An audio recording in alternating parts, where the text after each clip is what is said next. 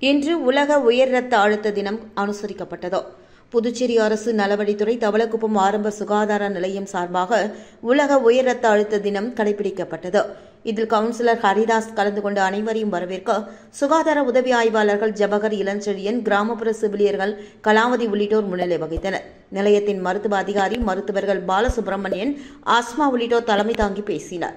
அப்பொழுது உயர் இரத்த அழுத்தம் விழிப்புணர்வை ஏற்படுத்த ஒவ்வொரு ஆண்டும் உலக உயர் இரத்த அழுத்த தினம் கடைபிடிக்கப்பட்டு வருகிறது என்றும் உலக சுகாதார அமைப்பின் கூற்றின்படி உயர் இரத்த அழுத்தம் உள்ள பெரியவர்களில் கிட்டத்தட்ட நாற்பத்தி ஆறு சதவீதம் பேர் தங்கள் நிலை குறித்து அறிந்திருக்கவில்லை என்றும் எனவே உலக அளவில் இந்த நிலை குறித்த விழிப்புணர்வை பரப்புவது முக்கியம் என்றும் மேலும் இந்த நிலையில் பாதிக்கப்பட்டவர்களுக்கு ஆதரவளிக்கும் அதே வேளையில் பிரச்சினைகளுக்கு தீர்வு காணும் தினமும் அனுசரிக்கப்படுகிறது. இந்த ஆண்டின் கருப்பொருளான உங்கள் இரத்த அழுத்தத்தை துல்லியமாக அளவிடவும் அது நீண்ட காலம் வாழவும் கருத்தை உள்ளடக்கி விளக்க உரை நிகழ்த்தப்பட்டது.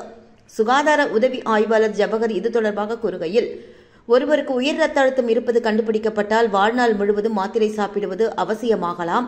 இருப்பினும் அதுபோன்ற சமயங்களில் மருத்துவரின் ஆலோசனையின்றி மாத்திரைகளை மாற்றக்கூடாது என்றும் உயர் அழுத்த ரத்தத்தின் இயற்கை வழியில் குறைக்கலாம் என்றும் அதிக பழம் காய்கறி கொழுப்பு நீக்கிய பால் உணவு நன்கு உதவும் என்றும் கொழுப்பு நிறைந்த உணவுகளை அடியோடு தவிர்த்துவிட வேண்டும் என்றும் முழுதானிய உணவு மற்றும் மீன் மீன் கொட்டை வகைகள் இயற்கை வழியில் இரத்த அழுத்தத்தினை குறைக்க உதவும் என்றும் அதிக மாமிச உணவு இனிப்பு உணவு இவற்றினை தவிர்த்திட வேண்டும் என்றும் உடற்பயிற்சி நடைப்பழக்கம் வயதிற்கேற்ப அவசியம் என்றும் மூச்சு பயிற்சி பிராணாயாமா வெகுவாக உயர் ரத்த அழுத்தத்தினை குறைக்க உதவுகிறது என்றும் விரிவாக எடுத்துக் கூறினார்.